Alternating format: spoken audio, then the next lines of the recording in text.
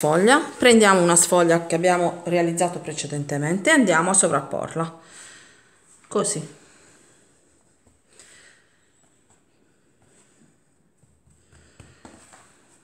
Siccome la mia, quella di sotto è un po' più piccola, ho girato l'impasto per vedere meglio. Ok? E ora facciamo la stessa operazione di prima. Prendiamo il burro e spennelliamo la nostra sfoglietta.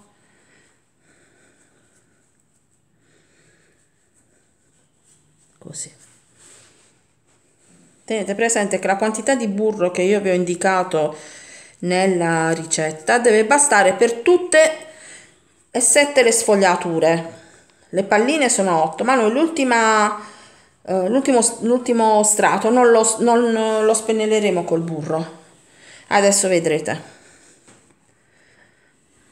ho messo il burro su tutta la superficie. Bello generoso e steso bene.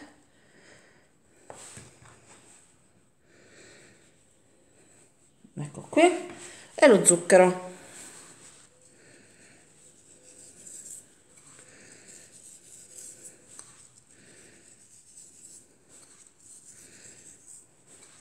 Ok.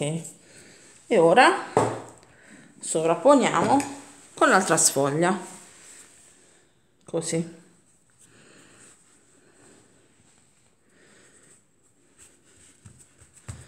Anche in questo caso io lo giro perché voglio controllare bene il nostro. Questa è la terza sfoglietta. Ora io continuo a stendere sfoglie e a sovrapporre. Ci vediamo tutte. Ci vediamo fra un paio di minuti con l'ultima stesura. Ci vediamo fra poco. Nel frattempo io ho steso tutte le sfoglie e procedo. Vi faccio vedere poi l'aggiunta dell'ultima sfoglietta. Come vedete io sto procedendo e ci vediamo fra poco.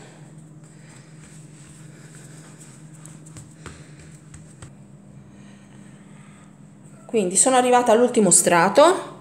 Finisco di spennellare per bene il burro.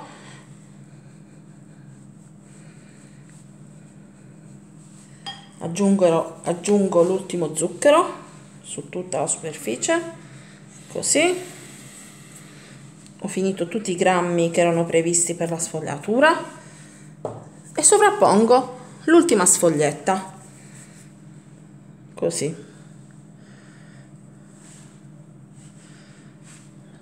ricoprite tutta la superficie per bene. Così.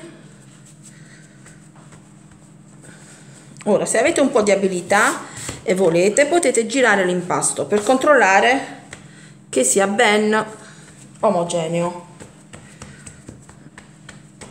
Ecco qui. Le nostre sfoglie sono tutte ben sovrapposte. Ora mettiamo un po' di farina sia da questa parte che da questa parte. Se non siete sicure di questo movimento non lo fate. E andiamo a stendere per ricavare i cornetti. Allora per la prima stesura facciamo piccoli colpetti così così facciamo incastrare bene il burro fra le sfogliette. Dopodiché andiamo a stendere non vi preoccupate di queste pieghe non succede niente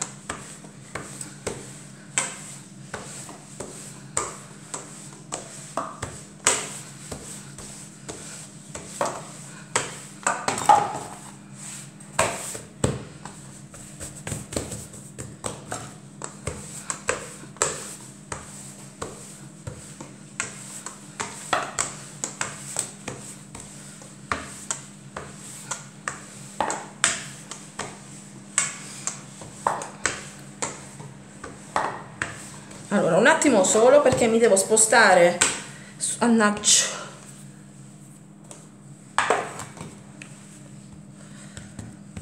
perché mi devo spostare sul sul tavolo perché non ho più spazio. Ci vediamo fra qualche secondo. Ho spostato la sfoglia sul tavolo perché non avevo più spazio e continuo a stendere.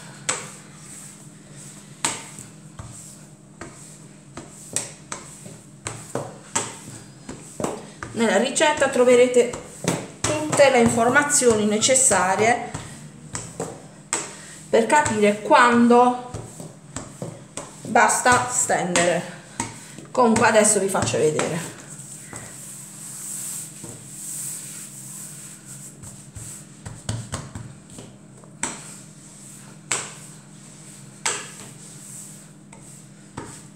Ci siamo quasi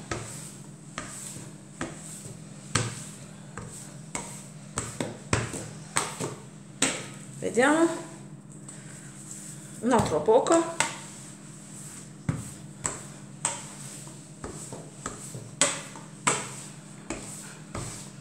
Ok. Questa è la grandezza che dobbiamo ottenere. Ora da questo impasto possiamo ottenere o 8 cornetti o 16 io, fa, io ne farò 16 perché mi piacciono piccoli. Iniziamo a tagliare così. Quindi tagliamo questo per metà. E sono 4 adesso ne otteniamo 8 così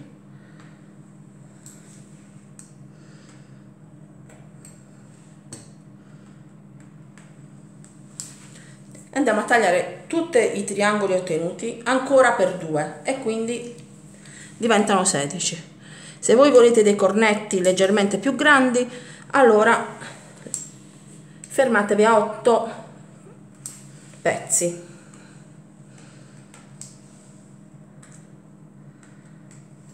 Io li realizzerò vuoti adesso vedrete ma voi potete tranquillamente aggiungere la farcitura che preferite. Ecco qua i triangoli ottenuti. Ora mi sposto da questa parte e vado a formare i cornetti. Prendo il triangolo ottenuto lo allungo con delicatezza, fermo la punta qui e vado a girare il nostro cornetto così facendo attenzione a far rimanere la punta sotto al cornetto così in cottura rimarrà perfetto. Ora vi faccio vedere anche un altro metodo. Potete avere anche la parte più lunga verso di voi fermare la punta qui sul piano di lavoro tirare con delicatezza. Qui potete mettere il ripieno che preferite e poi andate a girare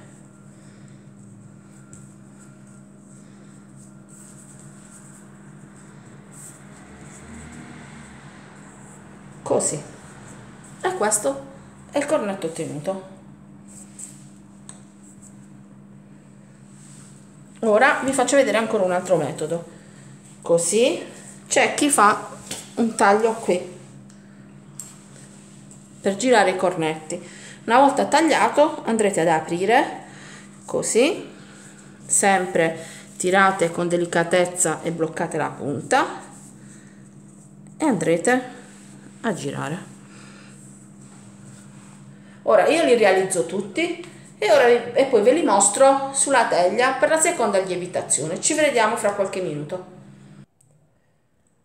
Questi sono i cornetti realizzati, quindi ce ne sono 8 qui che io farò rilievitare e poi cuocere e 8 qui che invece metterò in congelatore. Li ho messi su una teglia, li ho ricoperti di pellicola, adesso li metto nel congelatore, li faccio surgelare e poi li metto in una bustina. Ok? Vi faccio vedere la sfogliatura come è venuta, si vede. Vedete gli strati? Aspetta che va in... Uh mette a fuoco ok ora si vede bene dopo in cottura vedrete che bell'effetto avrà ora questi vanno a rilievitare ci vorranno circa 2-3 ore e vi faccio vedere dopo la spennellatura e dopo la cottura. Ci vediamo fra poco. Questi sono i nostri cornetti lievitati. Come vedete sono raddoppiati di volume. Adesso li, spennella, li spennelliamo con il tuorlo mescolato con un po' di latte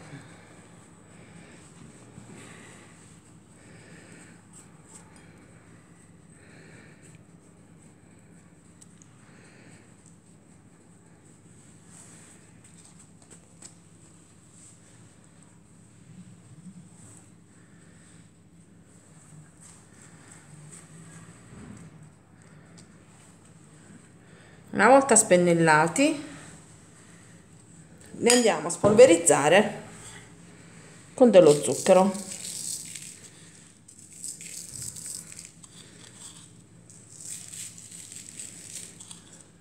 Così avremo una bella crosticina. Ora io continuo a spennellarli. Ci vediamo fra un quarto d'ora con i cornetti cotti. A fra poco. Ecco i nostri cornetti appena sfornati adesso lo tagliamo uno e vediamo l'interno. Questi sono caldi. Ecco qua. Vedete? Bene. Sono perfetti. Grazie di aver guardato il video. Ci scusiamo della scarsa qualità delle nostre realizzazioni però stiamo realizzando questi video nel periodo del coronavirus e quindi appena possibile ci eh, e quindi come dicevo ci impegneremo per realizzare dei video molto più professionali. Grazie a tutti e ciao per, alla prossima volta